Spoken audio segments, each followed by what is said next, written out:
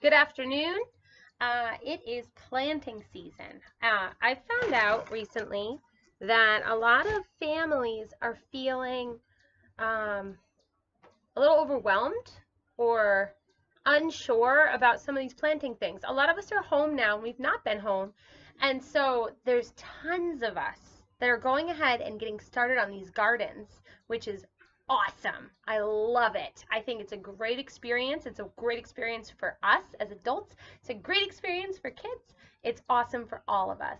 So this is a nice little video, an easy peasy video, um, because I've also found out that there's some serious shortages for some of these seedlings.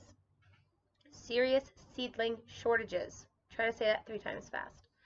So I wanted to um, just talk to you guys a little bit about this because it's a lot easier than you think.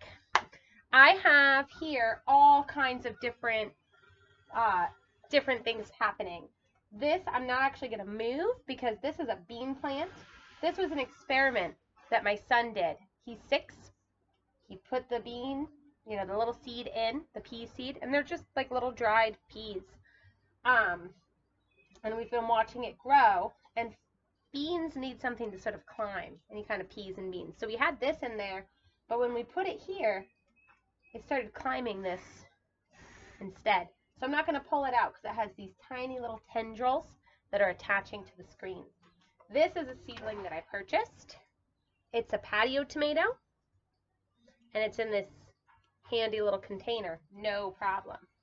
Over here, this was something my daughter got for her birthday. Um, and again, easy peasy. These, some of these are growing really well. They come right off so I can show you. We actually don't even remember what she planted in here. I know that one of the things she planted was sunflowers, but I have no idea if the sunflowers are growing. There's a third one here. I don't know what is what in here. So this is all about an experiment for us. Um, my point here is that if you can get a seed packet, like this one, we have here, these are sweet aroma hybrid tomatoes. You can get a seed packet, you can plant these babies in anything, all right? So I have here a little container, and I do have a package of potting soil. If you can't get potting soil, it's really not the end of the world. I also have in this container, which is something else you can plant in. We had planted in this and we just moved them into the garden. Um, I just have some extra soil from outside. I just dug it up so it was really soft and easy and put it in here. And now I have myself some soil. So you can put that right in there.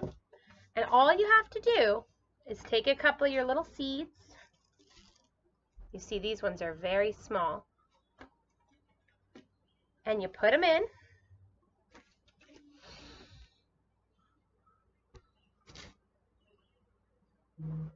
Now for tomatoes you want to do just a couple because um, you don't expect them all to germinate. So you put those in. I'm just going to do those two. You can do all six. And then you just want to put a little more soil on top. And then you want to make sure to thoroughly water them. Now, there's two different kinds of containers that we've been using. We were talking about using this Chobani container. There are no holes in this. So as you're watering it, you just need to be aware that if you overwater it, the water's going to sit in there. These have little holes in the bottom, little cuts. So the water, when there's too much, it'll flow right out. So you don't need to worry too much about it. I also bought a whole set here. I planted in this. And a lot of these I've moved. You can see how it's all loose here. But these are peas. And the peas are growing just fine. There's an extra cucumber seed here. That cucumber seed never germinated. Um, you know, here's another pea. There's some more peas over here kind of hiding under the wheatgrass. Wheatgrass is very easy and very hardy if you just want to, you know, try your hand at planting something and see how it goes.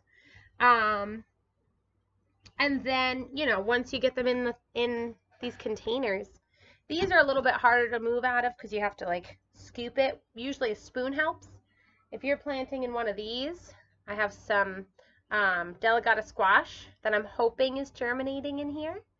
When you move it, you just squeeze it and you can pull the whole thing out and put it right into the ground. If you're doing container gardening, you're just going to want to get some bigger containers to move those kinds of things into. Squash is probably not a great thing to do in a container, um, but there are lots of things like tomatoes. You can do those in a container and peppers. Um, this is going to stay in a container, but I need to move it into a bigger one. So I hope you guys are able to get some gardening in. Uh, I'm available for any of my Woodland Playhouse questions. And have a great, beautiful day. Thanks, friends.